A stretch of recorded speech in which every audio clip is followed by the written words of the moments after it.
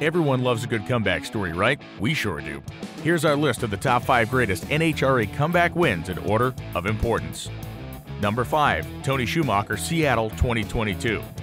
Some may say that Tony shouldn't be on this list because he won during the shortened 2020 season, but that wasn't a proper comeback as he had no ride for the 2021 year and he was helping his team fulfill sponsor obligations. His performance at the 2022 Northwest Nationals will go down in history. Hole shots, pedaling, and more, it was the kind of win only a veteran can pull off. Brittany smokes the tires! Tony Schumacher's gonna win! Number 4. John Force, Topeka 2008. After suffering the most horrendous crash of his entire career at Dallas 2007 and being told he may never walk again, John Force's future in racing had looked grim. We all should have known better. Working his way back into the car, Force gradually became more comfortable, eventually carting this win in Topeka. One of the most emotional wins of his career, it would be the only victory of 2008 for John Force.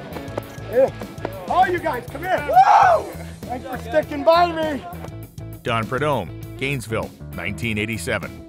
As improbable as it is to say today, most of drag racing thought that Don Prudhomme was washed up in 1987, and as harsh as it sounds, it looked like they were right. After winning the 1982 Summer Nationals, Prudhomme didn't win another race that season, or 1983, 84, or 85. He lost his sponsor and didn't race at all in 1986, but in 1987 he landed a sponsor, tested relentlessly, and despite a crummy start in Pomona, was ready when Gainesville rolled around. Prudhomme streaked on to take his first win in five years and his first Gator Nationals championship since 1980.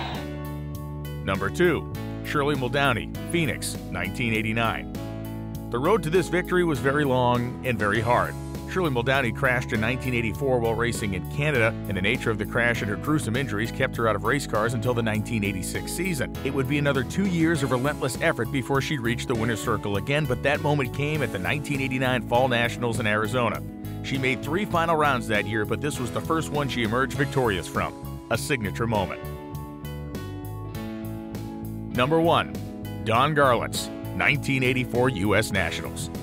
The old man with the old car.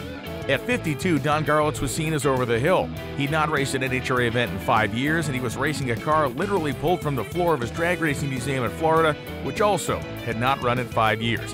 They snickered at Garlits and Malone when they showed up to the U.S. Nationals in 1984, and the laughing stopped as they began winning rounds. From laughter to reverence to frenzied cheering, the crowd was treated to the greatest comeback win in NHRA history. It is Don Garlits in a four-year-old race car off the museum floor.